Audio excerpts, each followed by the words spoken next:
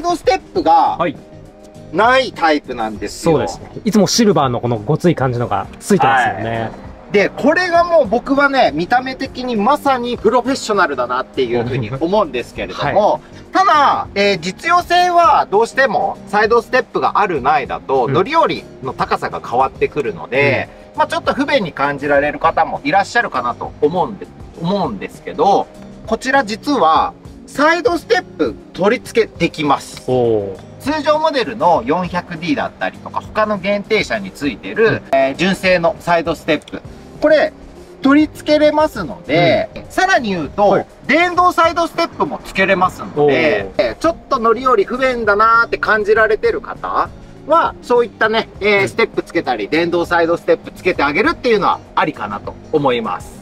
はい。まあ、パッと見 G400D と一緒ですもんね。パッと見一緒です。外装で違うのは、このエンブレムだけですね ここですよね。ここだけです。はい。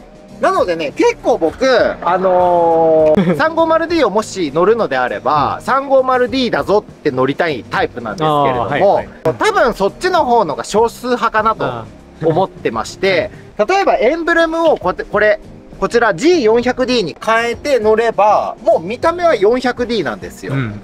なので、このエンブレム400にね、変えて乗られるのも僕は結構ありかなと思います。あの 400D のエンブレム、これあの1万円もかからないぐらいでできますんで、ちなみに 350D と 400D はどれぐらい価格差ありますか？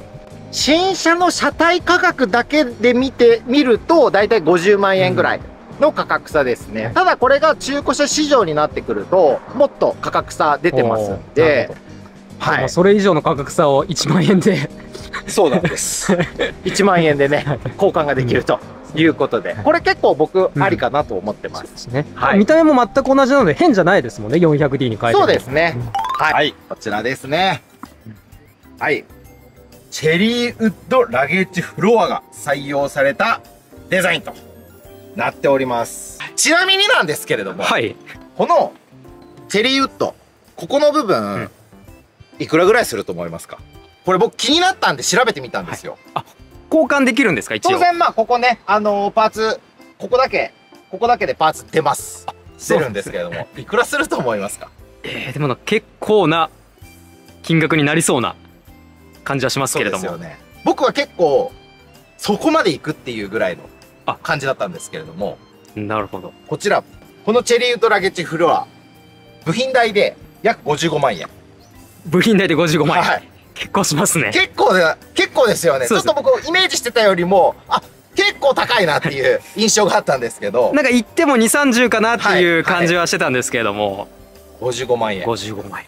やっぱりね、どうしても傷がつきやすいので、本物のウッドですもんね。そうですね。なので、やっぱり保護マット、引いてあげて使ってもらうのがね、うんいいかなと思います。やっぱりね、55万円を、あのっていう金額を知っちゃうと、よりね、あの丁寧に使ーいますね。丁寧にね、えー使ってあげることをお勧めしたいなというふうに思い今日も最後までご覧いただきありがとうございました。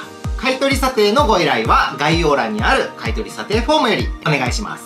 G クラス販売情報は YouTube コミュニティ、Instagram、Twitter にて随時ご案内しております。G クラスグッズはオンラインショップにて販売しております。随時商品を更新しておりますので、ぜひチェックしてみてください。